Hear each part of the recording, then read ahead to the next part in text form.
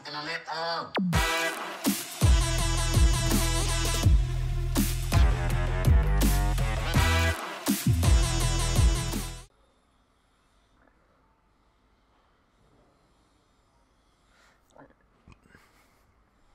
Hello and welcome back. I'm Evil Rabbit, and we are here on Forza Motorsport 7 to do something a little bit different today. I've done it before on the channel, but we're going to start a series kind of out of it here on Forza Motorsport 7. Basically, will it and make it drift. Episode 1 here, we will not be using that Matt Fields S14 because we do know that drifts. So the way I'm going to do this is I believe I have two cars that I can get through rewards. We're going to go and use a random reward and use the car that we can get in that reward from skill points and all that stuff to see if we can and make it drift, whether it be all-wheel drive, rear-wheel drive, or whatnot. So a whole different twist on doing drift cars, building it up, going through the tuning and everything like that, just to see how it works. This way, you know, I can uh, expand my horizon and try drifting more. Even though I would love to rip Matt Fields' car right now, just staring at it right there. But we're not going to do that today. So we're going to go see. We have two rewards. So hopefully one of these cars will be something we can make drift. So we have the McLaren M8B, which uh, I don't know if that's going to be a good choice. So we have this one to choose from today. Or we have whatever the next car is going to be, and that is a Koenigsegg Agera. Oof. Well, I guess we're going to be trying to build a Koenigsegg to drift because I don't think the other car will drift very well at all. But we are going to build that Koenigsegg, so we're going to have to hop into it and get it, and, uh, well, just try and send it. So the Koenigsegg 2011 Agera and, uh, well, this is going to be interesting. So we got to go. We're already rear-wheel drive. So we're going to try and, well, we're not going to really add aero. Don't need it. What tires are we on? We're on stock. Okay, so we're going to go up to sport tires just because uh, I can already see the power that is in this car, which is a 1,000 horsepower, I believe. Oh my, or 995. So we're going to go up to say a 275 in the front. And then we're gonna go as wide as possible in the rear 355 which is already on the car. I believe we're gonna leave the stock wheels on there for now. And uh, now we just got to get into nitty-gritty of installing parts which it looks like a lot of this is already installed. Except the diff. We are gonna need a diff. And I do not think we will be able to put drift suspension on we can oh man this might make this a little bit easier we can get drift suspension on this car. We are at 995 horsepower. So we're going to leave the horsepower at as it is. Because, well, that's just how it came. And it's already really light with a lot of performance stuff added. I don't think we can add more power to this. I think this thing's pretty much strung out. Unless we get to turbos and we have, oh. So we can go over a thousand horsepower. Are the turbos upgrade? Oh god, we can go even higher. Um. Oh my gosh, this car can go so much higher. So we're gonna leave it at 995 for right now, and uh, see how that works, and then we will go from there. So it is already mid-engine rear-wheel drive. So now we're gonna have to tune this thing up. We're gonna drop our tire pressures down a lot to try and get some grip. 22 and probably 20. We'll leave the gearing because we're not sure how that's going to work. I'll leave all of that. We're going to dump in some rear toe. Throw a caster all the way up. I said all the way up. Any roll. I think we're going to soften it just a smidge.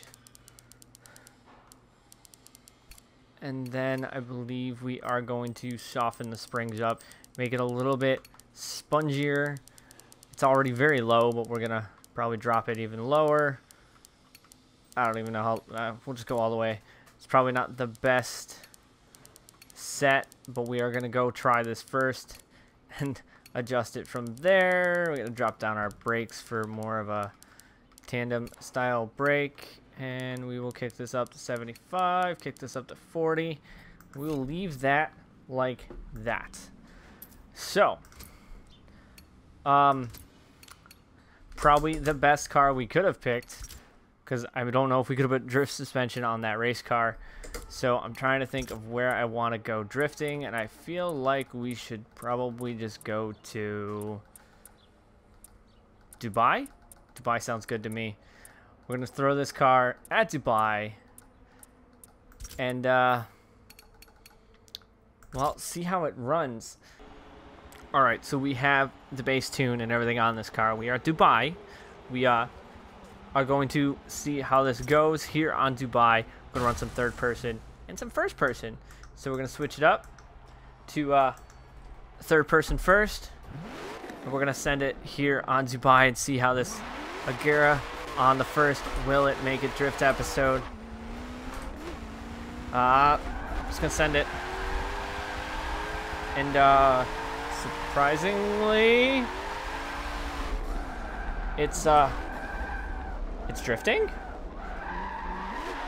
It's drifting actually very well. Oh, I looked away for two seconds. Mm, no.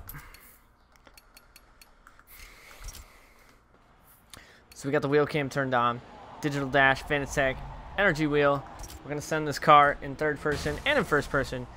Send it in third person first. A little donut, little uh, tire burn. I have a feeling this is actually going to uh, either go horribly wrong or horribly well. We're going to find out since we initiate in. Um, I'm thinking horribly well. Brake. We're feathering the brake. Oh, we got it. This Agera is definitely, uh, definitely sliding. And it is actually drifting very well. Quite impressed with this for the basic tune that we threw on this car. Drift suspension, 995 horsepower. Nothing. Let's go. So this is definitely, oh, almost, almost biffed it. This is definitely very fun and exciting for me right now. They were just tires, right? Fun and exciting to do this, to be building cars like this that I wouldn't normally build into a drift car. Build them into drift cars here on these episodes. So if you guys keep wanting to see this series here on the channel, let me know down in the comment section down below.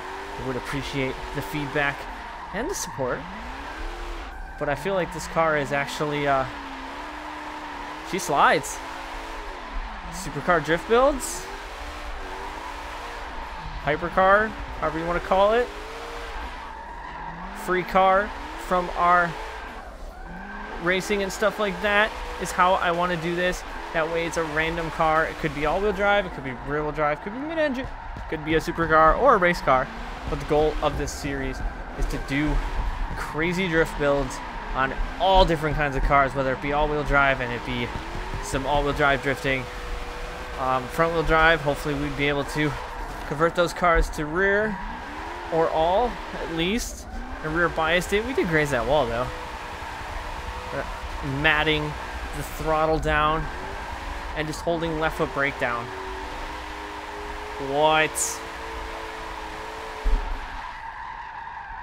Ah, I got greedy because I was so confused. I was half on brake, full on throttle, just running the front of that wall. Yep. This car slides. She slides. She slides real nice, actually. Too bad I can't drift one of these in ESDA or SSR. I feel like, uh, I feel like the, uh, tire width is way too high up there, but this car handles. I'm gonna need to get some tandems with this car, thank you. I need to get some people in here, maybe do some hypercar tandems. If that's something you guys would be interested in, let me know. Because this car is uh just getting it. Oh, oh my buddy. Charles is online. Too bad he doesn't do drifting, otherwise we'd get a dual Fanatec drift setup in here. Get him online and do some uh, Fanatec stuff. So now we're gonna switch it up. We're gonna switch the cameras around. So we are gonna have to switch the car up, and then uh, switch this camera down here so that the drift cam is not impeded, Somebody did comment that on one of my other videos where I was rocking the drift cam. So, first impressions on this car in third person, it gets it. Let's see how we do in first person because still definitely not used to the drift camera at all because of it looking where it wants to not where I want it to. Uh, I don't know how we saved that. We didn't wreck the car. I would not want to try and do that again. Little dirt drop. So, I challenge you guys to try this car. Get this car, throw it exactly what I got on there, on there from the video, and uh, give this a car chance yourself. I'm trying to save the car. I know it's I know it's game trying to save this million dollar millions of dollar car. Oh, as I say that, we go right into the wall. Oh. But I think a successful drift build here for today. We had the choice between this car and the other race car with that little open cockpit, big wing race car. I think we made the right choice with choosing this Agera. So, being light on throttle. Little throttle blip to get ourselves sideways.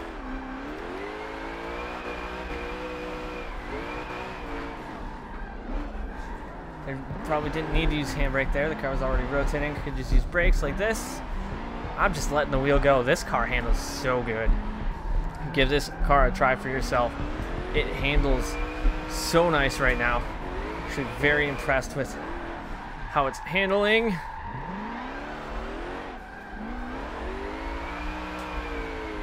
On the brakes. A little left foot brake action, get off the gas. Too much brake. But we saved it, but we'll clutch kick it back in. We saved the car somewhat. Clutch kick it back in. Transition ourselves back this way. Stay close to that yellow if we can.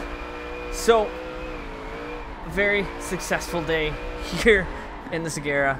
Definitely going to be uh, maybe tweaking this tune a little bit more, but I'm quite happy with it. Just grazing the front bumper.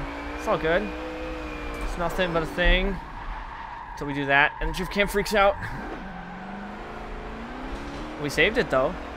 Is that like a 90 degree reverse straight line sideways entry don't know what I'm doing kind of slide as I flip my wrist around the wrong way.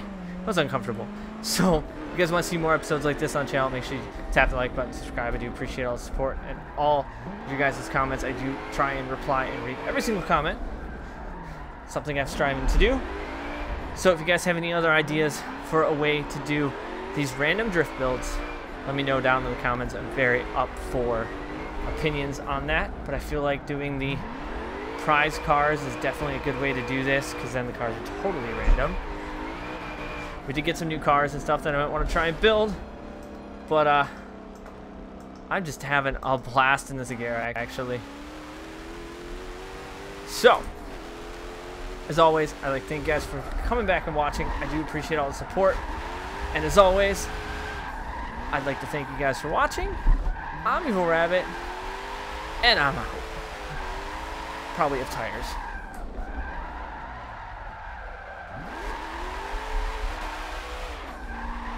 Thing just slides so nice.